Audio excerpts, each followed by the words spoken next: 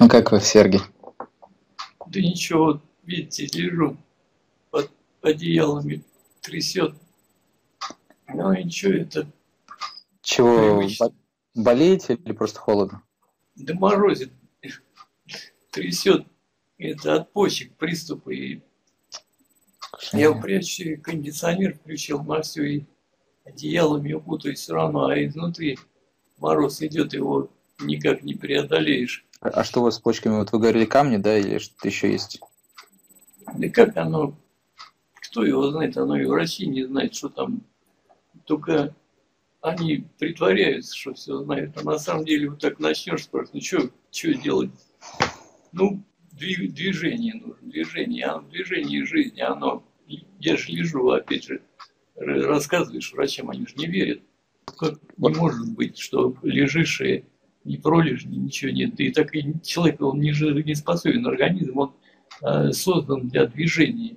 Все и органы, и мышцы, и суставы, все это должно подкрепляться периодически движением каким-то. А лежать как бревно, кто, кто так сможет? И вот да, Господь не...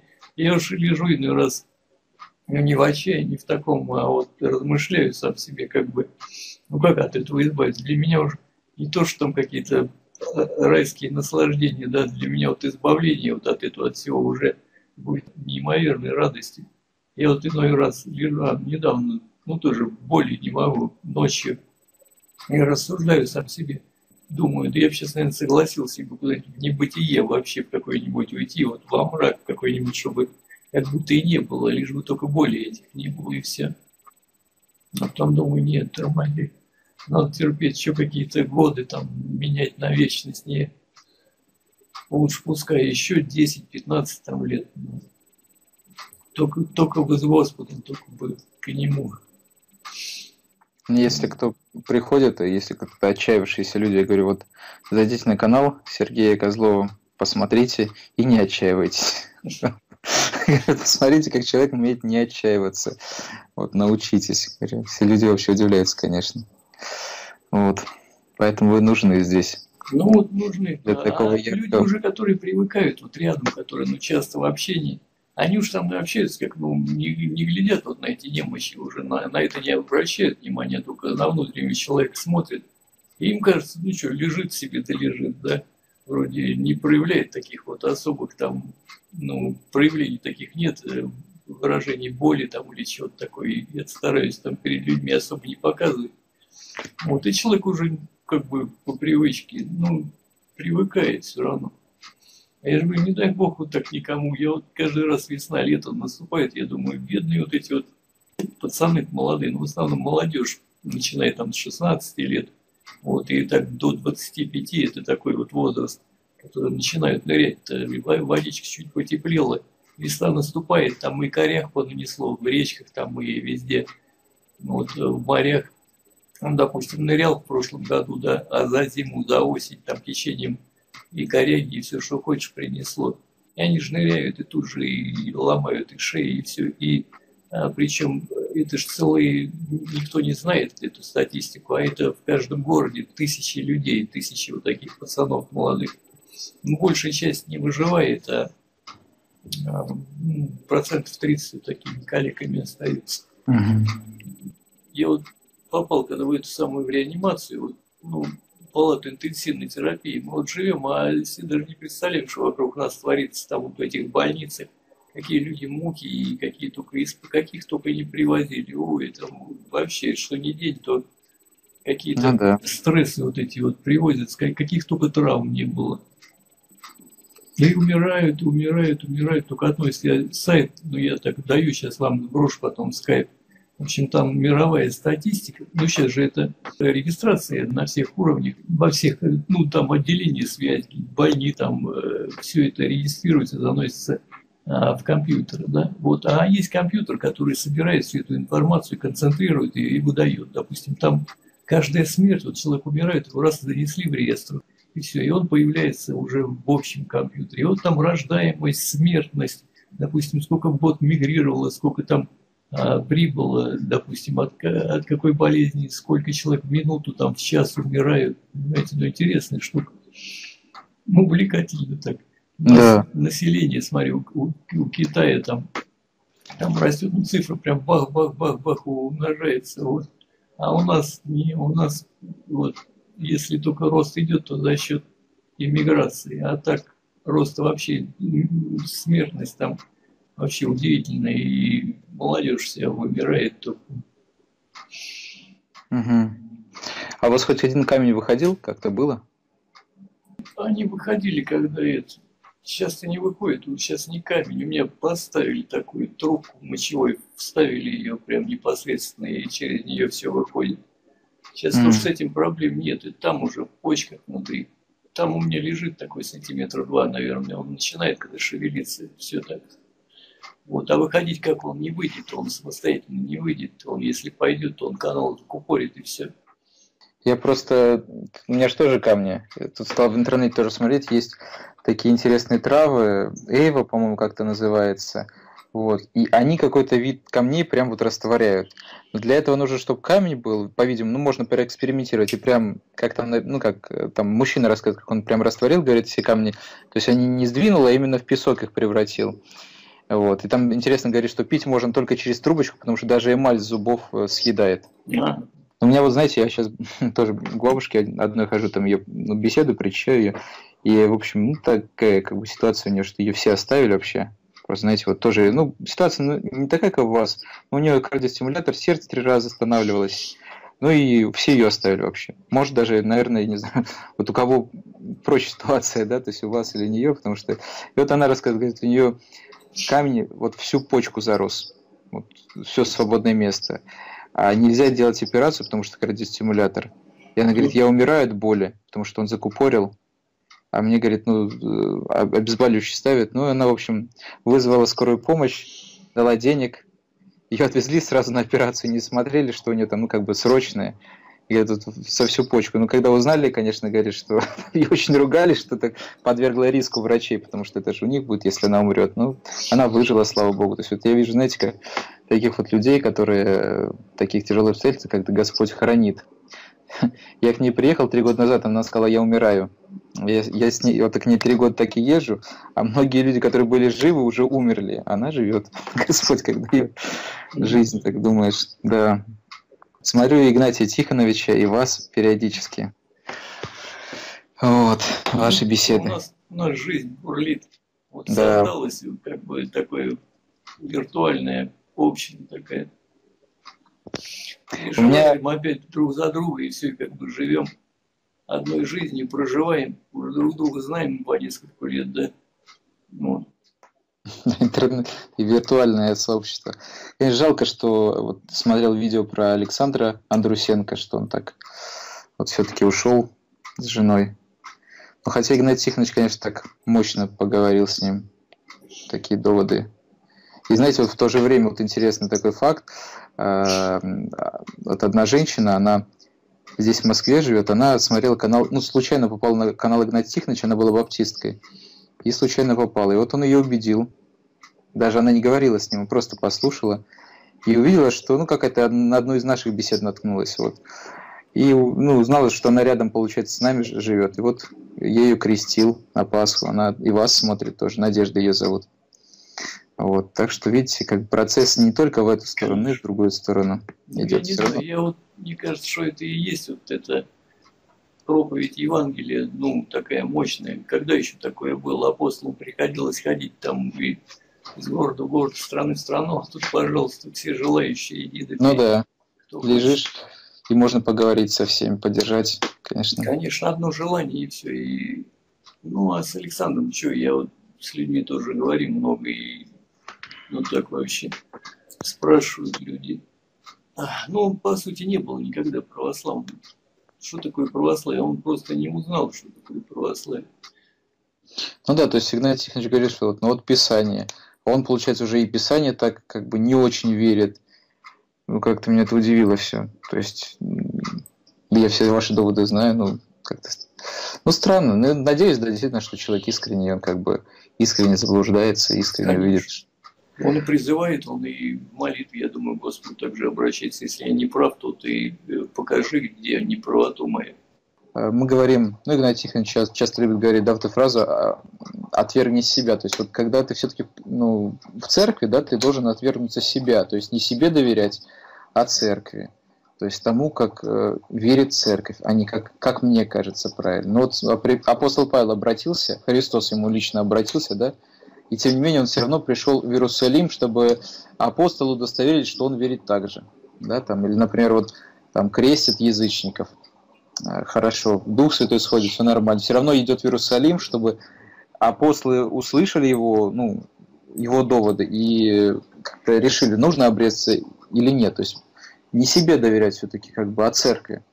А когда вот, ну, мне так кажется, вот так, ну, правда, ну, вот именно отсюда и есть 21 тысяча этих сект, что одному кажется так, другому эдак, потому что человек на, в первую очередь ставит свой, действительно, там, как он говорит, сердце или ум, ну и правда, всякий человек ложь, Давид говорит, да, то есть всякий человек, вот, он пропускает через свое сердце истину, а если твое сердце искажено, оно уже не, ну, как смотришь ты в искривленное стекло, и оно свет, хотя свет хороший, правильный, но он будет искаженно к тебе попадать. Вот и все, хоть ты там... Вот. Поэтому надеяться на себя, ну, как бы это ну, очень как-то опрометчиво. Не, Игнатий Тихонович, конечно, молодец. Я как-то так к нему, ну, пересмотрел, скажем так, свою точку зрения на него. То есть сначала, вы знаете, как вот после семинария ты как бы знаешь вроде бы как правильно все, да, и когда слышал первые эти, ну, как бы это все так очень резало. Ну, когда понимаешь, что он, ну, наверное, сам уже пересмотрел, то есть он не говорит так, как он когда-то говорил в книгах, вот, уже там, но не называет так святых, как когда-то называл. Я думаю, в нем самому какая-то трансформация произошла, и мнения, которые у него есть, я думаю, что они, ну, в принципе, наверное, в рамках православия. Ну, единственное, что мне не очень понятно отношение к другим церквям, вот это то, что он говорит, пять а так, в принципе, все остальное, наверное, можно принять. То есть нет же действительно ничего плохого, что там мощи находились под землей или, ну, ничего плохого там нет, если даже похоронить. Ну, хорошо. Почитать, ну, тоже можно. Как вы относитесь к этому католицизму? Католицизм? Ну, за церковь принимаете?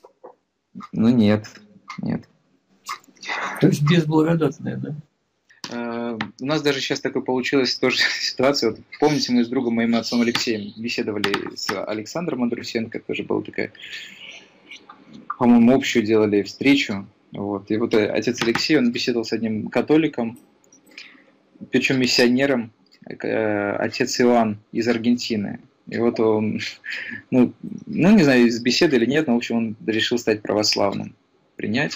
Нет, я придерживаюсь точки зрения священномученика Илариона Троицкого, что церковь это только ну, православная. Все остальное это не церковь, хотя благодать, конечно, она вообще во всем мире действует, и у католиков она действует, вообще у всех, и у язычников она действует. Всех Господь как бы призывает, ну как, призыв, как Игнатий говорит, да, призывающая благодать, освящающая благодать есть у тех, кто читает Слово Божие, кто Э, ну, как старается жить, вот, действительно, они через слово очищаются. Но спасающая благодать, ну, только в церкви, конечно, я это признать. А так, в смысле, что благодать призывающая, то есть человек может обратиться к Богу везде абсолютно, и у католиков может обратиться. Вот. Как Господь спасает тех, кто э, там бабушки в католичестве, это для меня загадка, тайна я, до меня дошел такой рассказ, не знаю, насколько это правда, нет, был такой старец Клеопа Илия в Румынии, и к нему однажды приехали католические богословы. И они с ним разговорились и говорят, скажите, а вот спасутся ли наши ну, католические значит, прихожане? И он говорит, многие из них спасутся. Они говорят, а мы? Он говорит, а вы нет. Говорит, ну как бы, что они не знают, не знаю, насколько вот эта точка зрения такая, ну, что вот они не знают, и Господь их будет, ну, насколько они знают. А вас из-за того, что вы знали и отвергли, вы нет, не спасете. Ну, такая точка зрения. Я же говорю, вот еще пять лет назад, ну как, начинал вот эту вот свою и с людьми как-то общаться в соцсетях.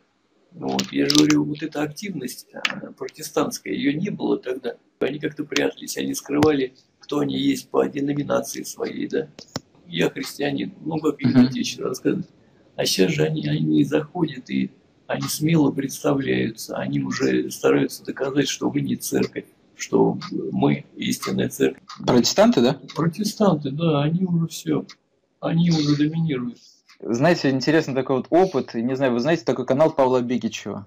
Не знаете? Не, может, видел, не слышал. Да, это такой, ну, он баптистом был. Он в 92 году крестился у баптистов. И там он долго был миссионером, проповедником. И у него, знаете, такой, он очень образованный человек, у него книг несколько выходило. И вот он э, ну, писал книги там в поддержку, скажем так, баптистского вероучения, но постепенно, видимо, ну, он читал очень много книг, и Кураева, и всех. И он пришел к тому, что он перестал отрицать иконы, он принимает семь вселенских соборов, э, таинства, и даже вот он ну, как бы в лютеранство перешел, знаете, как более, ну, лютеранство в, в том смысле, что оно ну, ближе к православию, ну, по многим критериям, чем э, баптизм. Ну, в том плане даже, что признают причащение телом и кровью, да, что это именно тело и кровь. Там, ну, как понятно, что у них э, над хлебом, под хлебом, но все равно, что они верят, что не символов причащаются, а именно тело и кровью, да, там крещение признают как таинство и так далее. И вот что интересно, он э, там год назад еще своим, у него студенты есть, он говорит, вот они святых отцов разбирались, студенты, он говорит им, вот, значит, э, Игнатий Богоносец говорит, что никакая Евхаристия не должна почитаться истинную, э, как та, которая совершена, еписк... которая совершена епископом или тем, кому он поручит. Да, Игнатий Богоносец говорит такие слова. И он говорил, ну, епископ это каждый, значит, в баптизме это каждый пастор, я поручаю это, значит, разрешает, я вам всем разрешаю.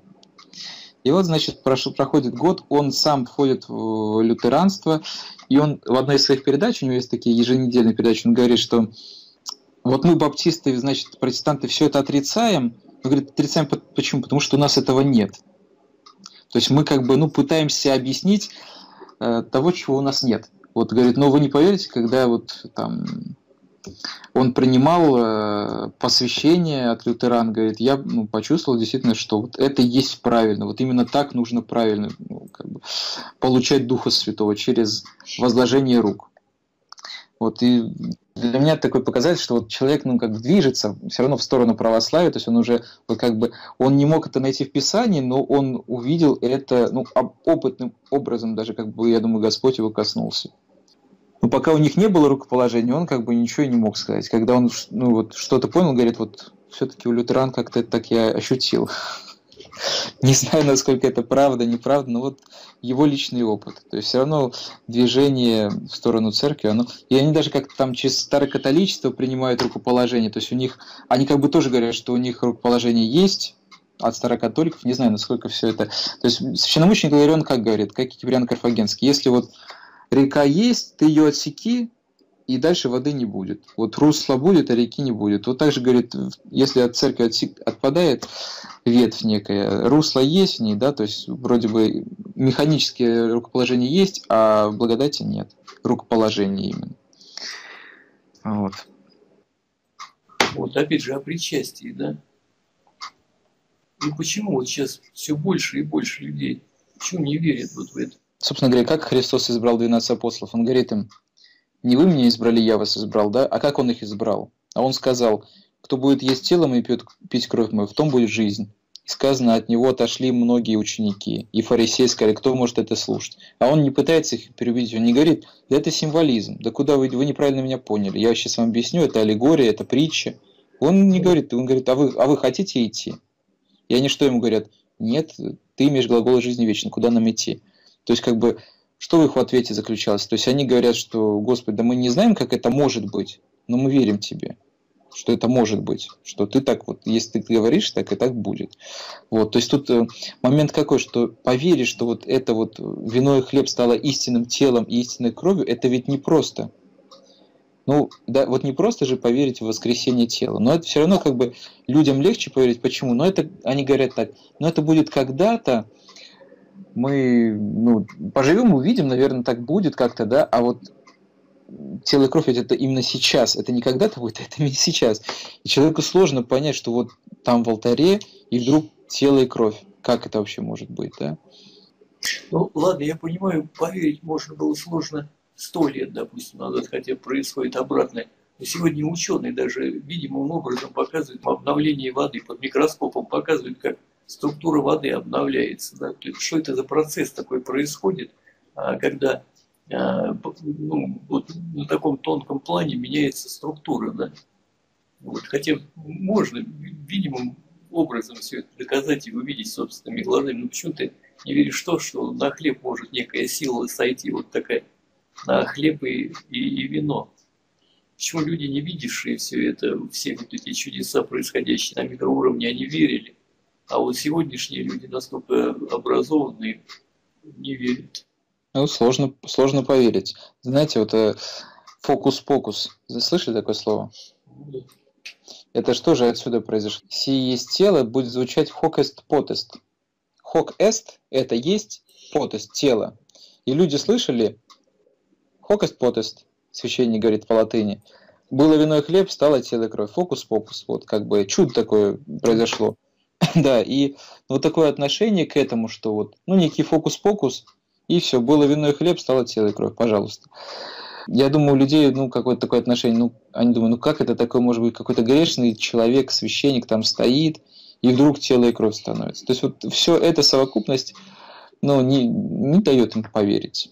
Не знаю, я, конечно, понимаю, что и во мне какая-то слабая вера, да, наверное. Вот, но я никогда не сомневался, что это и есть истинное тело и кровь. Вот. Ну, люди-то ладно, слабая вера. Иметь слава во мне тоже слабая вера, и мне тяжело это представить. Но люди же не то, что не верят, они просто обратную скорость включают, они начинают отрицать это. Понимаете? Они отрицают, они борются с этим. Но понимаете, если тебе принять, что это естественное тело и кровь, ты тогда обязан принять священство. То есть потому что это может мы ну, просто из, э, видим, что мог, могли совершать только священники, только епископы, да? А если вот это правда, что это тело и кровь, значит, мы не можем отделиться от них. А чтобы нам отделиться, нам надо против этого сказать, посмотрите, вот протестанты, это же, ну, по сути, беспоповцы, да, все они отделились, сказали, мы все священники. То есть все мы это можем совершать. Вот. Ну, ну это такое, это символы будут. Да, потому что если принять, что это действительно тело и кровь, значит, это какие-то особые люди должны быть, там, какие-то особые там, жрецы. Потому что мы же не можем вот у себя на кухне там взять и сделать так же, да, то есть не может каждый человек это взять и сделать. Это вот особое место должно быть, особые люди должны для этого быть. Вот это все одно за другим тянет. То есть вот смотрите, протестантизм возникает, он отвергает священство и отвергает сразу причастие одновременно. И все протестанты, собственно говоря, то же самое. Ну, то есть Лютер, понятно, он ну, все равно в какой-то мере он отверг, потому что он сказал, вино и хлеб не становятся телом и кровью, оно просто как бы невидимо присутствует рядом, тело и кровь но, там, но и, тем не менее, в лютеранстве-то остались там какие-то там, не знаю, епископы, тоже ведь у них это есть, и рукоположение они как-то сохранили. А те, которые уже и отвергли и рукоположение, у них это уже чисто символизм. Свидетели Иеговы, баптисты, адвентисты, это все, они говорят, символы. Ну, я много с ними говорю, пишу, там, переписываюсь. Вот я им когда начинаю говорить, говорю, ну вот у нас мы причащаемся телу и крови, а они говорят, а мы тоже причащаемся. Вот, то есть они ревнуют, да, но мы причащаемся как воспоминание. Вот, ну а смысл, что ты, а, допустим, воспоминания. Просто всп... ешь, угу. ешь Вспомнил воспоминания. Вот. Ну а что ты без этого что ли не помнишь? А Господи, зачем, зачем тебе воспоминания? То есть присел на минутку, вспомнил и пошел и забыл опять, да? Ну, Поспоминал, да. Нет, как, как раз э, ведь литургия это есть воспоминания, мы вспоминаем тайную вечеру, все, все так есть, но не любое воспоминание есть Евхаристия. Конечно, на духовном уровне ну, мы должны стать причастниками божеского естества, но Христос ведь Он стал человеком, поэтому не только наша душа требует соединения, причастия его естеству божественному, но и наше тело. Если бы мы были там какие-то философами, платониками, которые говорили, что наше тело это темница, и если мы вот выйдем из него, мы уже спасены, там, наша душа в рай пойдет. А тело, в общем, это темница, которая должна навсегда здесь остаться. Тогда да, это понятно было бы, там, духовное причастие. Но ведь мы же верим в воскресение тела. Чтобы тело воскресло, в нем должно быть как бы прививка бессмертия. То есть то, что в моем теле должно быть находиться то, что не умрет и навсегда не как бы разложится на мельчайшие части, да, это как раз тело Христова. То есть когда я с ним соединен, это вот та самая прививка, которая дает мне ну, не погибнуть моему телу навсегда. Вот. То есть то, что дает ему жизнь вечную. Как сам Христос говорит, да, кто будет есть, тот будет иметь жизнь вечную. Именно потому, что мы стоим из души и тела, поэтому он нам дал причастие себя не просто духовное, но и телесное. То есть причастие мы соединимся с Богом духовно и телесно. То есть, конечно, и в молитве человек причащается Богу, становится ну, причастником Его благодати, но частью Его тела становится только в причастии. Соединение с Богом легко объяснить. Э, даже человек любой может почувствовать это. Ну, допустим, обиделся там или обозлился на человека, раз все в теле произошли такие изменения, отдаления от Господа, да, чуть э, начинаешь ну, переубеждать себя, все, чувствуешь, как обновляется тело, плоть твоя внутренняя обновляется, и все, когда уже примиряешься, обнимаешься с этим человеком, все, все ты в Господе.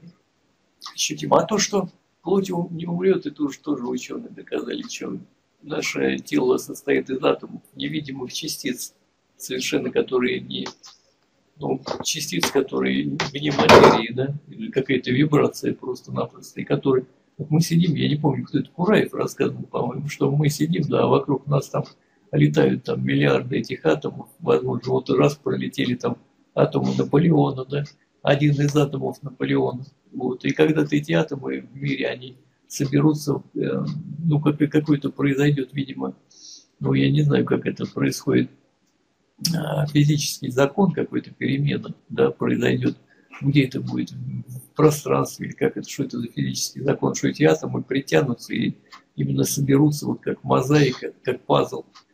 Ну а как, сейчас, даже сейчас ученые говорят, что могут вот волосинку дай, они могут ну, клонировать там животное какое-то по одной волосинке. Ну, а для Бога это что невозможно. И я говорю, что вот в первом веке наши апологеты да, церкви, они говорили, что для Бога достаточно самые мельчайшие частицы, чтобы восстановить человека. И язычники и ученые того времени в это не верили. Сейчас ученые уже верят, что по одной малейшей частице можно восстановить там человека. Ну, в теории хотя бы. На практике никто не клонировал пока, но в теории-то уже как бы вот они знают, что это возможно. Да. Ну, вот я с инотехничем тоже говорил, я, ну, что вы не верите? Ну, есть уже, показывали там ученые эксперименты, что взяли, вообще внедрили в геном свиньи, э, геном человека смешали, вот, и показывает, что уже а там она розовым, э, клетки человека, они розовым цветом обозначены, и вот рассматривали вот этот вот зародыш свиньи, и в нем там, я не знаю, процентов 40, наверное, от человека, и причем мозг уже человек, идет свинья зародыш, я не знаю, месяца три, наверное, и мозг показан человеческий в нее.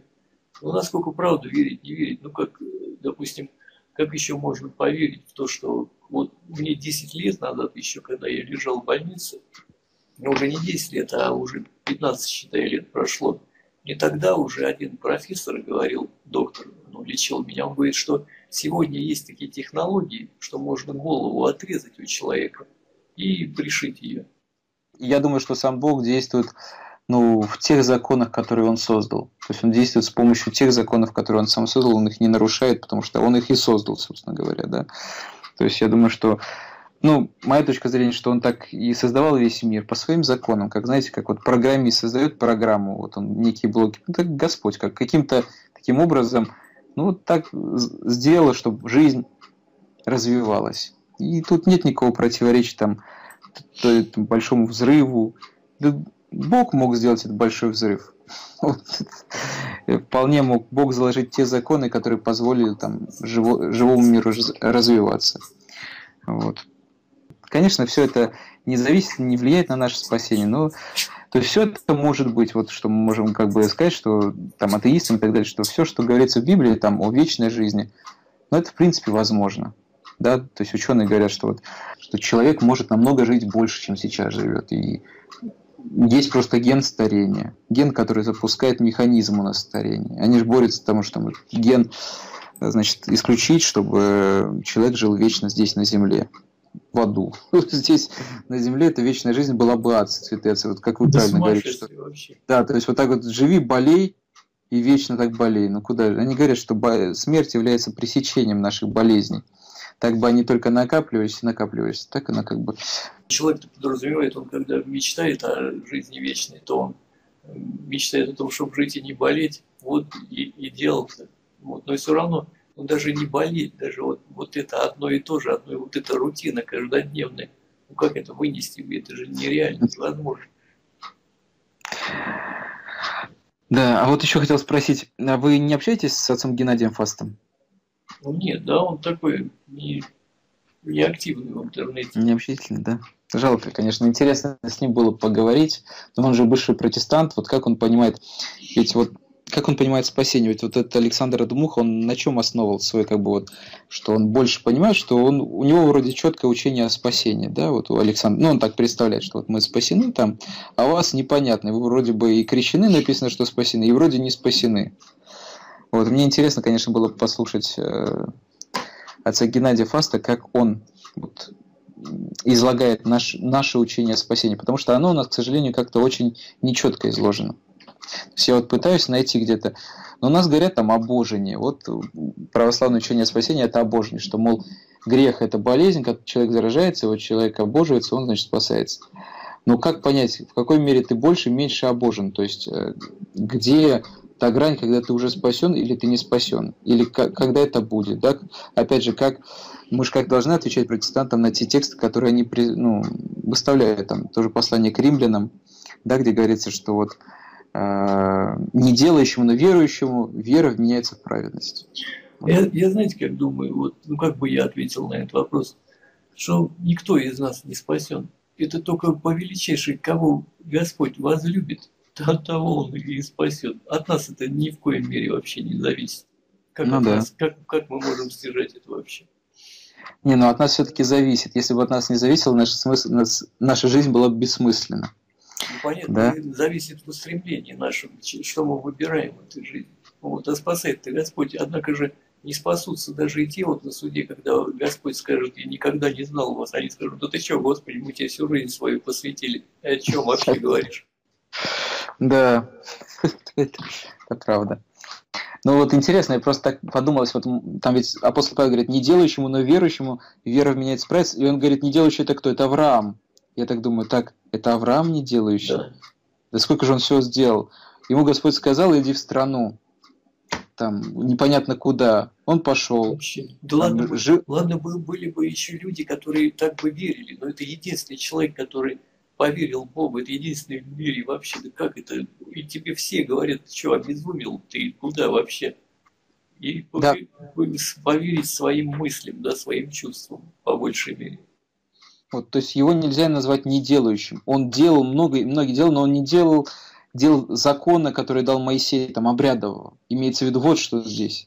То есть он эти дела не делал, но его вера, которая вот, менилась ему в праведность. Интересно, что святые отцы, они как говорят, то есть протестанты как говорят, ты поверил, и тебе уже вера вменилась в праведность. То есть Бог на тебя смотрит, как через Голгофу. Вот Бог Отец на тебя смотрит через Голгофу сына и видит не тебя, а видит жертву сына, и, мол, ты хоть грешник, но он видит твою жертву сына, и все равно ты спасен уже. Да? Потому что не твои, не твои грехи видятся, а видится вот жертва сына, которая все перекрывает. А святые отцы никак по-другому говорят. Например, вот Семен, Семен Новобогослов, как раз он говорит, что вот если в тебе есть плоды духа, это и значит, что тебе вера вменилась в праведность. То есть э, протестанты как говорят, ты поверил, и тебе вера вменилась. А мы говорим как, что если жизнь подтверждает, что в тебе есть плоды, это только тогда можно сказать, что вера вменяется, вменилась в праведность. Вот, то есть как бы, ну, мы тоже верим, что вера вменяется в праведность, но это является, скажем так, финалом жизни. То есть вот когда уже человек вот действительно пожил, и мы верим тоже, что ведь человек спасается верой, а дела, они свидетельствуют о том, жива вера или нет. Если вера жива, значит и дела есть. Если вера мертва, значит, дел нет. Как раз с Максимом Степаненко говорили на эту тему, вот как раз о теме спасения, да. И он, ну, я думаю, вот что делать? Он, он говорит, если вы увидели, увидели, что у нас в семье каждый день происходит, ну там, видимо, он, он же такой пастырь строгий, детей его везде, и жену держит, вот. Он там им спуску не дает, если он на весь мир вот так высказывается о людях, да, то в семье я, вот, и я говорю, ну как спасаться-то вообще? Он говорит, ну что, только делами, говорит, только вот э, делал, был блудником, да, или там аборты делал, сейчас э, делай противоположный, только через это и спасешься. А вот Ну просто тупо вот делай и все, делай и все. Не, но это показывает ведь веру. То есть ты должен основание полагать веру, но вера не без дел. Конечно. То есть, понятно, у нас обрядового закона нет, закона дел обрядового, но а без дел вообще в принципе не может быть веры. То есть она просто мертвая. Вот и все. То есть тут как бы, ну, мне кажется, очень просто, как вот то есть вся, ведь вся суть протестантов, они как бы говорят, вот у нас что особенно, вот учение о спасении, да, вот у нас супер правильно. Все это остальное у них так, ну, не цепляет людей. А вот учение о спасении, что они говорят тебе, ты спасен уже, это как бы такой какая-то новинка для людей. Знаете, как свидетели Го говорят, а ты знаешь имя Бога? Все говорят, ну Иисус Христос. Они говорят, а вот давайте откроем, вот видите, у вас в Библии написано Иегова. И человек как бы попался, потому что он не знал этого, и для него что-то такое новинка какая-то, да, что у него в Библии, оказывается, это написано. Вот. То же самое протестанты, вот у них есть такая как фишка, говорят, своя, да, то есть вот что вот учение о спасении. Вот смотрите, вот мы спасены, все, и вы тоже, если примете Иисуса, вы уже будете спасены. Вот. Но что, а, значит, что они подразумевают под этим, что значит примите Иисуса? Как то есть, если ты, ну, они говорят, они говорят, если ты родился свыше, вот принял Иисуса, принял его своим личным спасителем, покаялся, ты уже, значит, спасен. Бог дал тебе дар, а его дары неизменны. Вот он дал тебе дар спасения, и все, и ты его уже не потеряешь, потому что дары Божьи неизменны. Ну как, как ты примешь э, Иисуса, да, как ты примешь Иисуса? Ну ладно, ты принял Иисуса, но Иисус-то он ходил в рванине, не знал, где головы преклонить, не знал, что есть и пить будет. Ну почему ты принимая его, одеваешь там красивую одежду, галстучек, там кушаешь аппетитно? Они, они говорят, вот это в частности, особенно Лютер, лютеранство, все, вот, ну, такие классические протестанты, что да, мы грешниками остаемся, но вот Бог смотрит не на нас, а смотрит на Христа. И мы спасаемся не своей праведностью, а праведностью Христа. Мы грешники. Но праведность Христа закрывает наши грехи. Мы надеемся, не надеемся на свою праведность, мы только надеемся на праведность Христа, что она закроет нас перед Богом. Ну, такая чисто юридическая, что вот я пришел в суд, мне говорят, ты грешник, а другой человек стоит, говорит, а я вот все его там грехи, я с собой покрываю, я заплачу за все. Ну, как бы Иисус заплатил за наше спасение, купил. Помните, как песня? Как дорого ты нам спасение купил. То есть вот Иисус заплатил деньги, ну как бы своей кровью, да, свою кровь заплатил за то, чтобы купить. Хотя мы грешниками остаемся, говорят протестанты, но тем не менее мы уже спасены, потому что вот Иисус купил нам. Да, и как бы она такая привлекательная, эта теория, что оказывается так Конечно, просто спастись. Я назвал а, канал свой «Парализован во славу Христа». Если бы знали, как вот они мне пишут, что назови себе там, не называй себя так, что ты парализован во славу Христа. Вот. Если ты, тебе надо выздороветь, попросить Бога и сказать, там, исцелен во славу Христа, вот так вот называй себя. А чтобы во славу Христа нельзя так себя называть. То есть, как бы их фраза вот это обличает, что они другого Христа-то исповедуют совершенно. Наш Господь говорит, возьми крест и следуй за мной, отрекись мира. Видите, они не могут этого принять, понять этого. Вот что значит отрекись мира, Господь дал такие, ну, благодать такую в мире. Вот, почему ей не пользоваться? Да? Господь сделал нам язык со множеством там капилляров, а ощущать вкус. Вот. А для наслаждения там многое сделал. Почему этим не пользоваться? Они не могут это впитать в себе. Да. Вот, а как его, его невозможно человека переубедить, если он, если он внутренне ну, состоит человек из этого, а, а как ты его наполнишь? Общаясь с свидетелями Иеговы еще, вот параллельно. Ой, так я вот. не могу с ними, не тяжело с ними общаться. Нет, мне как-то... Я, я пытаюсь, знаете, вот я понял, наконец, апостола Павла и вообще апостолов, почему вот они так писали. То есть вот мы иногда, знаете, э, спрашиваем ну, себя внутренне, почему-то апостол, ну, хотя бы один бы написал Троица, Триединство, Отец, Сын, Святой Дух, там, едино... все, не было бы всех этих споров, всех этих столетий, да, там. Нам так, ну, нам так кажется. Вот. Но вот э, пообщавшись с свидетелями Иеговы, я понимаю апостола. Почему? То есть, когда я говорю беседу с свидетелями Иеговы, мне приходится э, снисходить ну, к их пониманию Писания. Не, ну, как бы, как это правильно сказать, говорить с ними на одном языке, что ли. То есть, вот знаете, как апостол Павел в Ариапаге был, и он там говорит языком, который понятен там язычника. В синагоге он приводит цитаты из Писания. То есть, вот везде подстраивается. И вот, например, э, с теми же свидетелями Иеговы говоришь, у них написано, э, что там не тело и кровь, кто не ест тело и крови, а кто не ест символов тела и крови, тот не будет иметь жизни вечной. Да? Как бы они так исказили, ну ладно, хорошо. Тоже вот говоришь... в новом, новом переводе так написано. Да, у них, у них так написано. То есть э, там слово «истин» сей есть, а там какое-то десятое значение, действительно есть там образ. Ну, не, не с первого, а то, что первое, они не принимают. Ну вот они нашли такое понимание. И там, значит, написано, да, вот э, они не у себя так перевелись. Это есть, значит, образ тела моего, это есть образ крови моей. Они говорят, видите, ну когда им говорят, что это надо реальное тело и кровь, они говорят, ну кто, Иисус же знал, кровь нельзя есть как бы, ну, то есть это сразу стена получается. Поэтому я когда к ним обращаюсь, я говорю, ну хорошо, вот у вас написано, э, есть образ тела моего, есть образ крови моей. Но Иисус же говорит, что кто не ест образа тела моего не пьет крови, образа крови моей, в том нет жизни. Но вы же не, даже образа не едите, не вкушаете. И вот э, то, тут как бы на одну позицию взял их текст, хорошо, давайте по вашему тексту но они же сами не вкушают даже и образов своих. Я, я верю, что у них именно образы, у них не истинная тело и кровь, да. То есть э, они говорят, вот у нас только помазанный. А откуда это? В Библии не, Иисус не делает исключения, он говорит там все, ешьте все, пейте все. Кто не будет, он же всем говорит. И вот у них это, знаете как, там всего три места в Священном Писании, которые говорится о причастии, да. И э, у них это вот ступор происходит, потому что, ну, правда, Иисус вроде говорит, а они не делают. А нигде не написано, что вот только там какие-то там помазанные должны делать. Вот. И они говорят, ну, мы там у пастора спросим и так далее. Но пока вот, наверное, человек семь я беседовал, и пока ни один от пастора не вернулся с этим. Не с пастора, а старейшин. старейшин.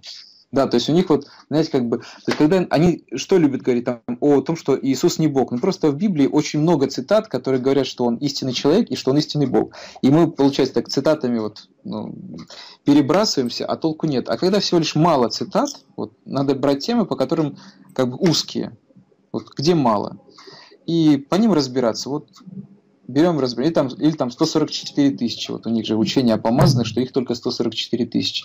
И они основываются там на апокалипсисе, что вот, то, вот там вот эти 144 тысячи, говорят, это духовный Израиль. Говорю, ну подождите, там же по коленам прям перечислено. Почему вы считаете, что возможно же понять по-другому? Но ну, я не говорю, что вот, например, мой правильный. Я говорю, ну давайте рассуждать. Вы, вы считаете почему-то, что вы правильный. Ну вот давайте я вам предложу такое понимание. Вы попробуйте его провернуть, что вы скажете, это неправильно. Вот доказать из Писания. Я говорю, вот 44, да, это буквально евреи, которые обратятся при Антихристе. Вот, ведь сказано у Павла, что сначала войдет полное число язычников, а потом и евреи обратятся, и тогда весь Израиль спасется. Они, ну да, написано так. Ну вот это и есть те евреи, 144, там же сказано, они были на земле. Вот.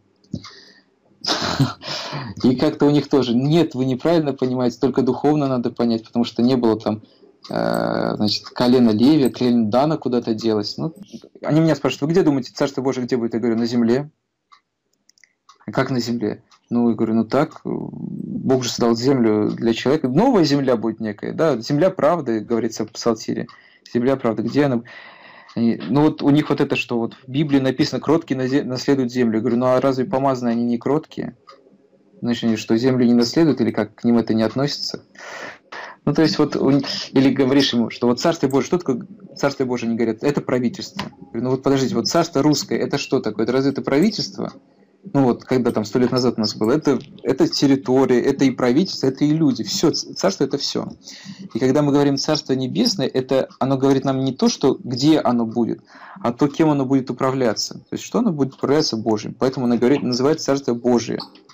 И Христос говорит, Царствие Божие там внутри вас есть, или там среди вас, как свидетель Иеговы приводит, что свидетель, Царствие уже здесь на земле может быть среди нас.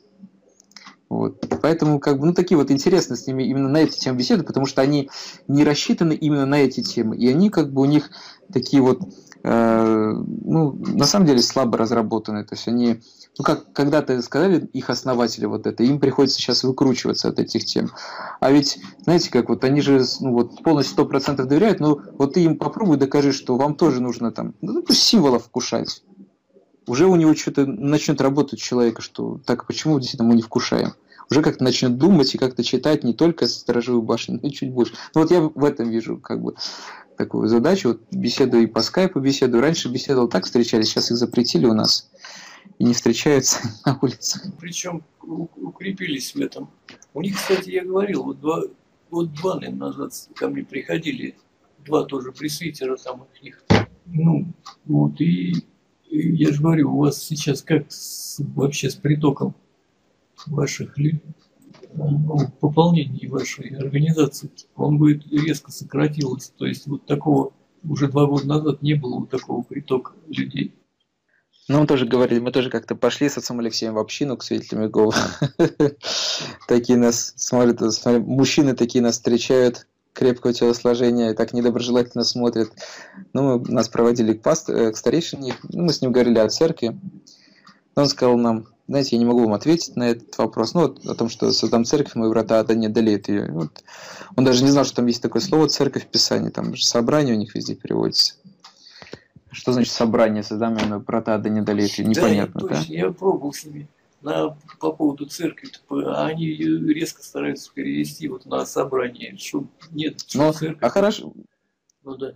Ну хорошо, можно сказать, давайте, ну собрание. Вот где было собрание свидетелей Иеговы в третьем, четвертом, пятом? Вот приведите свидетельство истории, что было именно собрание. Не, отдельные какие-то люди, а именно собрание. Ну, вот они собраны вместе должны быть, да? Как в первом веке. Вот апостол, никто из внешних не мог э, прийти к церкви. То есть вот церковь, это, она была видима и остается видимым. То есть, понятно, мы тоже верим в невидимую церковь. То есть, мы тоже говорим, что не все, кто входит в храм, не все пребывают в теле Христовом. Да? То есть, невидимая церковь – это тело Христово. Но тело Христово пребывает, мы говорим, в рамках видимой церкви. То есть, оно меньше, но в рамках видимой церкви. Люди-то материалисты совершенно. Я вот с ними тоже по поводу души начали общаться. Я говорю, ну, у меня был опыт, я лично вам подтверждаю то, что душа выходит из тела. Да, они, да, ну, это как бы... Я говорю, ну вот смотрите, у меня есть четыре свидетеля, которые видят, что я 25 минут был синим трупом. А вы прекрасно знаете, что а, мозг после 5-7 минут а, кислорода начинает, то есть не начинает, а он умирает полностью. Вот, ну как-то замолчали. Ну, я попытался вот это вот донести о существовании души. А, видимо, видимо, что-то касается их. Они хотели бы в это как-то поверить. Ну, я не знаю. Не, ну с ними, когда, если говорится о бессмертии души, надо говорить не о бессмертии души, а о бессмертии духа. То есть они вам докажут, что душа это только... То есть мы, мы из Священного Писания видим, ну, есть свидетельство, что после смерти человек не умирает. Как это назвать, вот это состояние, что он не умирает? Мы обычно называем душа. Но в Священном Писании много слов, где говорится там, того душа да истребится, там, после смерти и так далее. Вот. И мы можем говорить о бессмертии духа с ним, потому что в Священном Писании очень часто ну, говорится, что там тело человека в землю, а дух к Богу, Экклезиаст, например, говорит. Да? То есть вот, вот, пожалуйста, вам. Ну, назовем духом, хорошо, не душой, духом пусть это будет. Вот. То же самое. Иосиф Лавий, вот он был ровесником, ну не ровесником, чуть позже жил Иисус Христос, и он описывает, что, во что верили э, фарисеи и садуки. Он говорит, что вот э, фарисеи, говорят, верят в бессмертие души. Фарисеи. А садукеи не верят. Вот помните, когда апостол Павел в деяниях, э, Лука говорит в деяниях, что садукеи не верят ни в ангела, ни в духа, то есть вот э, не в духа, Иосиф Лавий говорит, что это они не верят в душу, что у человека есть душа. А фарисеи верят в бессмертие души, да. И вот смотрите, ведь когда Христос приводит им пример с богачом и Лазарем, получается, ну, с точки зрения свидетеля Иеговы, он какую-то там ну, неправильную теорию о... ну, привел в пример. То есть, словно говоря, это все равно, что он там реинкарнацию им привел в пример. Вот там умер Лазарь и реинкарнировал там что-то еще. Ну, понимаешь, это бред. Христос не мог такое привести еретическое учение какое-то в притче, да, то есть он приводил примеры из жизни, то, что было понятно людям. То есть приводит там пример сеятель, жернов, там какой-нибудь там сеть, э, жемчужина, все это понятно, все. И вот о посмертном бытии, и людям было тоже понятно, потому что они так верили.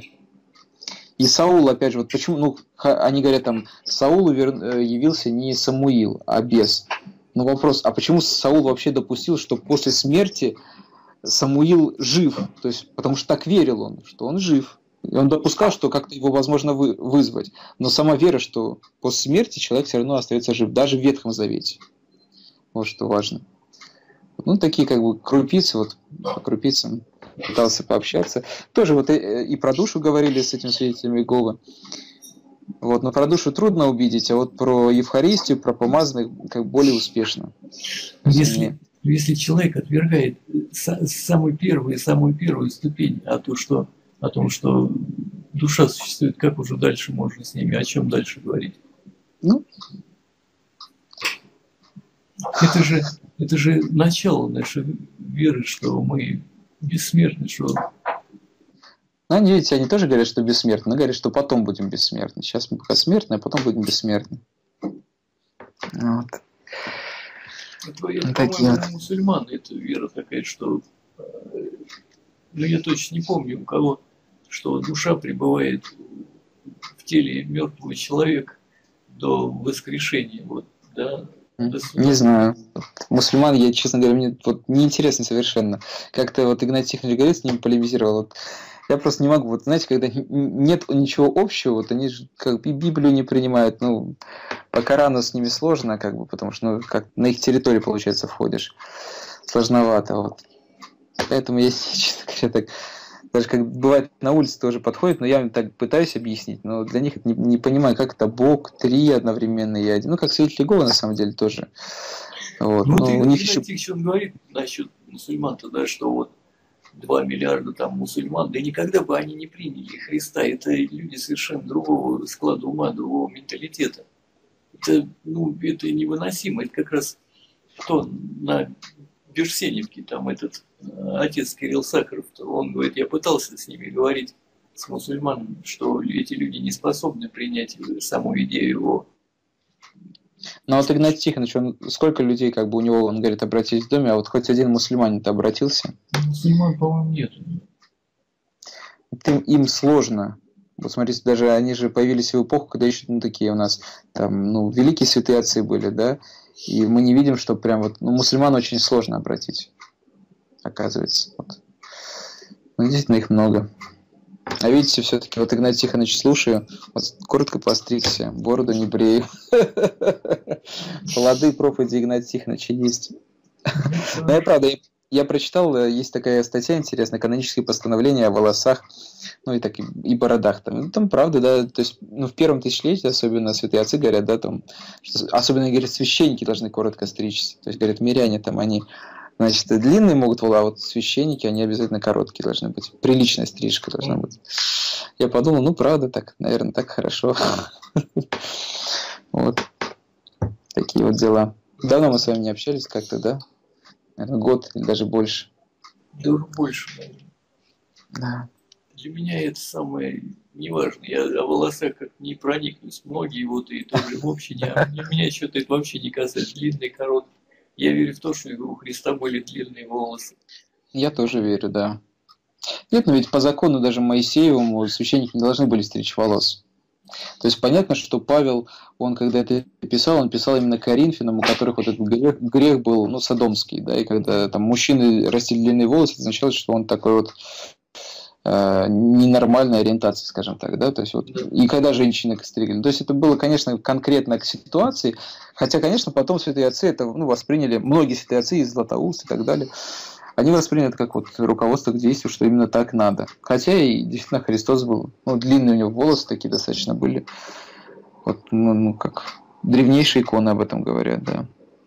Из катакомб еще. Ну ладно, батюшка, давайте тогда прощаться, потому что благословите меня. Да. да, Бог благословит. Очень был рад увидеться, поговорить с вами. Вот, вам терпение в ваших скорбях и облегчение, что все-таки Господь подал. Спасибо, Господь. Ну все, с Богом. И вам Божьей помощи. Все. Спасибо. С Богом. С Богом.